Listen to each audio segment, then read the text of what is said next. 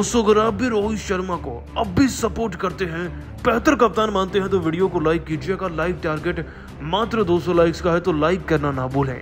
दोस्तों श्रीलंका से बुरी तरीके से हार के बाद बौखला चुके हैं रोहित शर्मा।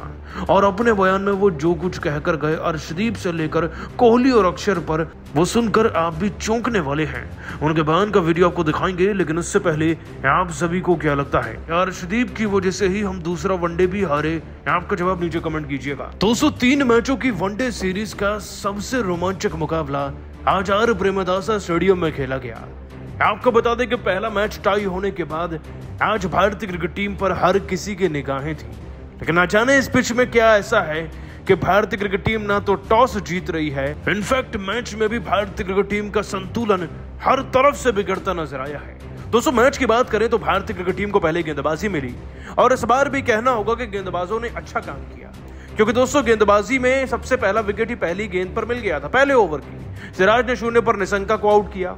उसके बाद वॉशिंगटन सुंदर ने देर से सही, लेकिन 40 और 30 रन पर फर्नांडो व मेंडिस को निपटाया था। इसके बाद दोस्तों, केवल दो ही बड़ी पारी आई थी वेला लागे और मेंडिस की, जो कि कमिंदू मेंडिस थे, जिन्होंने उनतालीस और 40 रन बनाए। दिन के दम पर टीम का स्कोर 240 पहुँच गया। अब दोस्तों 241 का टारगेट कोई बहुत बड़ा टारगेट नहीं इवन पिछले मैच से केवल 10 रन ही तो ज़्यादा है। भारतीय क्रिकेट टीम चेस कर लेगी। हर मायने में चेस कर लेगी।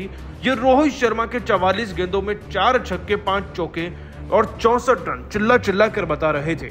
लेकिन जैसे ही दोस्तों रोहित शर्मा आउट हुए, सत्तानवे पर पहला विकेट गिरा ना। उसके बाद दोस्तों 133 तक पहुँचते पहुँचते हमारे पाँच विकेट गिर गए थे, जिसमें हमारे पाँच खिलाड़ियों का नाम शुमार था जो टॉप नॉच खिलाड़ी हैं। शुभमन गिल 35 पर आउट हो गए, विराट कोहली 14 पर, शून्य पर शिवम दुबे और श्रेयस अय्यर सात रन पर।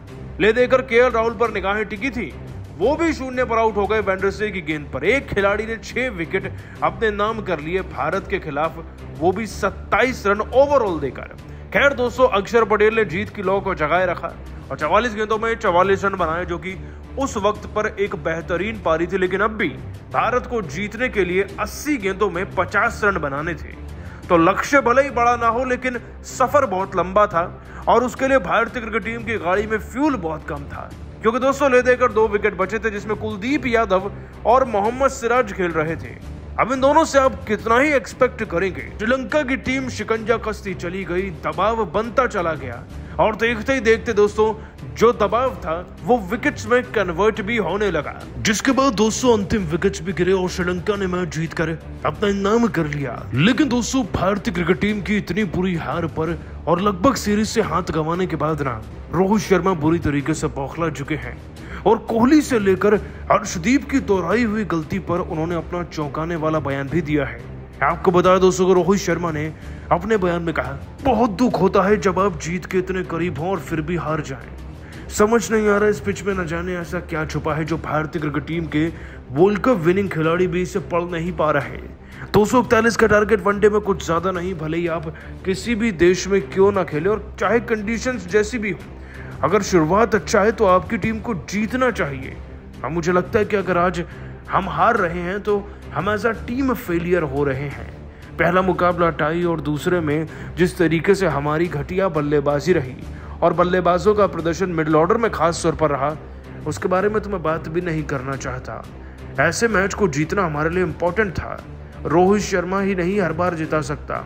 कभी कभी विराट को भी अच्छी बल्लेबाजी करनी होगी।